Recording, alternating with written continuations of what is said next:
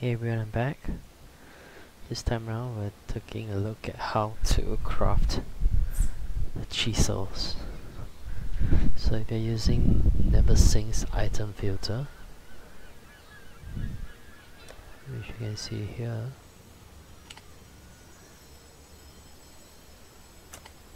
you can get it from his website, which I've linked in the description below. And from there, you end up picking up things like these one-handed mace. Okay, what you do is to get a blacksmith's whetstone and bring up to 20% and then pick up one of those maps that you don't use and go to a vendor At your service. this is the recipe. One 20% mace from the NeverSink's uh, item filter.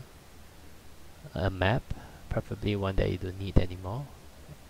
And when you vendor it you will get a chisel.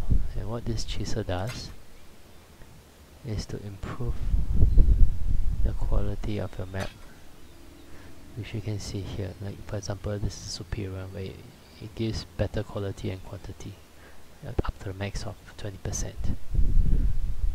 okay. hope this helps see you again